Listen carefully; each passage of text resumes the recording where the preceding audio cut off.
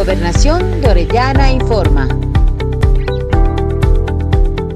Emily Villagrán es una niña que a sus seis meses de vida fue diagnosticada con Gaucher tipo 2. Su madre, Marcia Villagrán, comenta cómo es el proceso para poder sobrellevar la enfermedad de su hija. Mm, fue muy duro enterarme porque incluso la reacción como me la dijeron, eh, que ella vivía solo hasta los ocho años y así, pero no fue así, ahora ya tiene 16 años. Desde ahí yo vengo recibiendo ayuda del Ministerio de Salud, lo cual en la medicina es la primera niña que le, donaron y de ahí el Ministerio de Salud comenzaron a comprar. El doctor Yuri Jesús Marimón Díaz, especialista en medicina general integral, es el encargado de llevar este caso. Eh, comenzamos entonces con la paciente Emily Ariana Villagán Álvarez, que actualmente tiene 16 años de edad. Es una paciente que lleva acá con nosotros en el COCA 8 años. Eh, Emily es una niña que fue diagnosticada en el Hospital Baca Ortiz con una enfermedad rara, eh, una enfermedad autosómica recesiva llamada enfermedad Gaucher tipo, tipo 2. Eh, esta enfermedad se caracteriza por una deficiencia de una enzima de nacimiento que produce diferentes sintomatologías a nivel de todo el organismo, específicamente a través de, eh, del sistema nervioso central y a través de, órganos, de, órganos principales de, su, organismo. Eh, hicimos entonces el traslado de la paciente para acá y en ese caso me encargué yo de la paciente, de la, de la administración, de las infusiones que la paciente debe llevar cada 15 días de por vida. Eh, por necesidades de su propia enfermedad.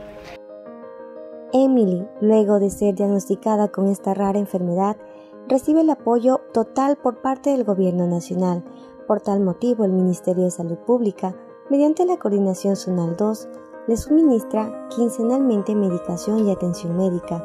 Así lo manifiesta el doctor Juan Pablo Ceballos por parte de la Dirección Distrital 22 de 02, Salud, eh, en conjunto con la Coordinación Zonal y, parte del Ministerio de Salud Pública, eh, Emily bueno, sigue, hace un seguimiento, lo que es nutricionista en parte del, distrito, y el médico del barrio, que es el MGI, él es el que, MGI, él es el que le hace el seguimiento y los controles, se pone en contacto con la mamá, en este caso de Emily, Villagrán, entonces él hace la visita domiciliaria porque esa es la función del médico del barrio, hacer la visita domiciliaria y también Emily con la mamá también van al centro de salud Ambiguasi, tipo B, en el cual en el centro de salud Ambiguasi tipo B le suministra el, medicamento que bueno que es de, sumo cuidado por lo que hay que disolverlo y tiene que tener muchas precauciones para que el medicamento no se pierda. Marcia Villagrán también recibe apoyo por parte del Ministerio de Inclusión Económica y Social a través del bono Joaquín Gallegos Lara. Eso es una, para mí, yo sé que es como, como lo decimos, es un, poco, pero las que sabemos y las que tenemos de estos niños así, es muchísimo. Porque igual, yo con eso, gracias a Dios, sobrevivo, eh, salgo adelante. Eh, no, no he podido darle más de estudio a mi hijo mayor, pero agradecida yo de, del bono porque es una ayuda bastante.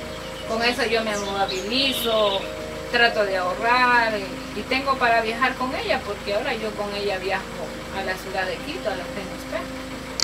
Alex Núñez, su titular, detalla la ayuda que brinda este ministerio. Eh, recibe un bono Joaquín Gallegos Lara, a su madre que es la persona cuidadora.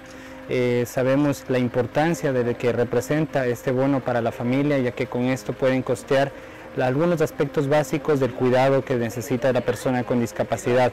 En este caso, pues existen cinco casos con enfermedad catastrófica rara, con una enfermedad rara, entre ellos está justamente Emily aquí en la provincia de Orellana.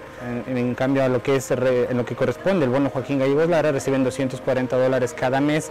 Es uno de nuestros 405 usuarios que tenemos en toda la provincia de Orellana y a través de nuestra técnica de Joaquín Gallegos Lara eh, siempre realiza seguimientos y acompañamientos para ver cuál es la corresponsabilidad de la familia.